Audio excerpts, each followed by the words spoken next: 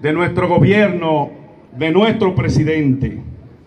Llega el mismo escenario del 2012 y asimismo, como hijo bueno de este partido, nosotros estamos seguros que también, así como a nosotros se nos bajó la línea para que apoyáramos en aquel entonces al precandidato, porque habían otros precandidatos, que el partido sabía que garantizaba sin lugar a duda y sin temor que el PLD siguiera en el poder, recibimos la orden y la acatamos y todos apoyamos al compañero Danilo Medina para que fuera el candidato del 2012.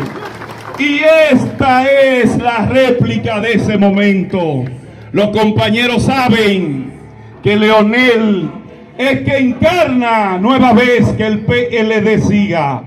Estamos completamente seguros.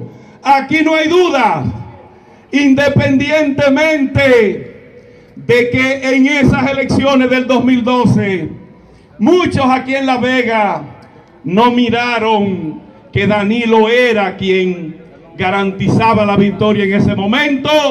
Sin embargo, fue este equipo que agarró la rienda y el timón.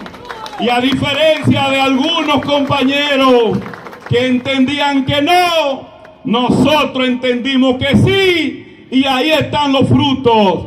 Y estamos seguros que también ese equipo del compañero Danilo le dirá que sí a Leonel Fernández para que siga trillando el PLD por los senderos de la victoria. Muchas gracias y hasta la victoria, compañeras y compañeros.